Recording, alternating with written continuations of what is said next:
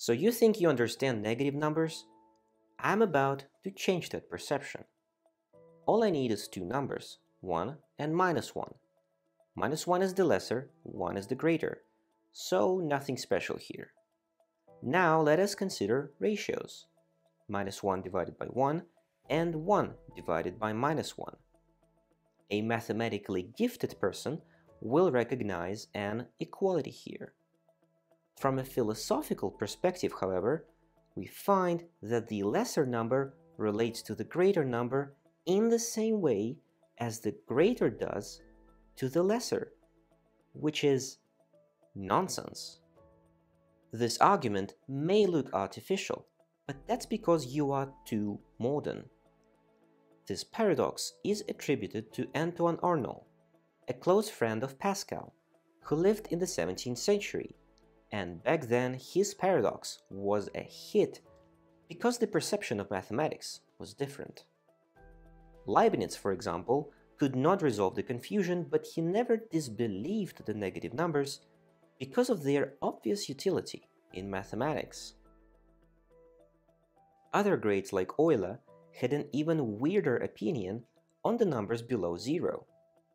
We know very well that decreasing the denominator of a fraction while keeping the numerator unchanged will result in a bigger number. Well, Euler considers a divided by zero, which is infinity. Yes, they were actually writing it like this without any backthoughts. Now imagine we divide a by a negative number, which by definition is less than zero. According to what we said about fractions, whatever comes out has to be greater than infinity? Keeping jokes aside, let's consider a serious question. Why negative times negative is positive? Seriously, can we justify it by a more fundamental fact from arithmetic? To see why this considered to be basic rule is very unintuitive, let's use a familiar number line. 0 in the middle, positives to the right, negatives to the left. Addition means stepping to the right, subtraction is going to the left. Multiplication is nothing but a shorthand for repeated additions or subtractions. So, positive times positive. We just end up more positive, so a plus here. Positive times negative can still be made sense of. Make repeated steps to the left, so a minus overall. But negative times negative? Both of them start on the left, but they somehow end up on the right? What does it mean to repeat something a negative number of times anyway? So mathematicians kept using minuses while disbelieving them until they started to go abstract.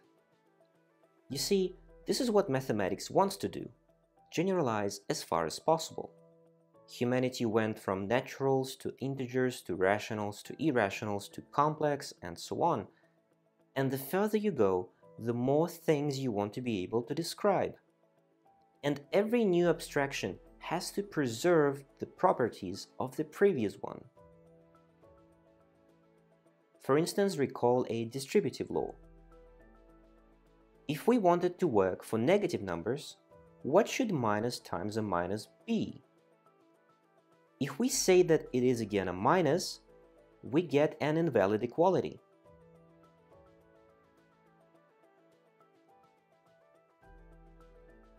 But saying that it's a plus works well.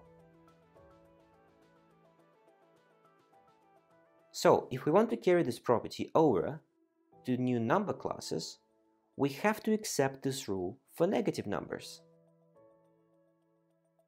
In this way, negative times negative is positive simply because we say so, because this is what makes mathematics work. However, this wasn't enough. To break the psychological barrier, mathematicians needed more reasons. And they found those reasons when they abstractified not numbers, but operations with numbers. Take an equal-sided triangle. Rotate by 120 degrees. We get the same shape. Reflect it in the central axes. The same triangle again. I am describing symmetries of a triangle here. Obviously, we can compose these symmetries and in this way they begin to resemble integers. Transformations are numbers and composition is like addition. This is one of the earliest examples of a group.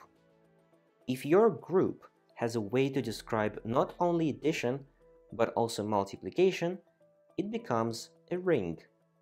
If you allow division, it becomes a field. And negative elements have a more natural representation in groups.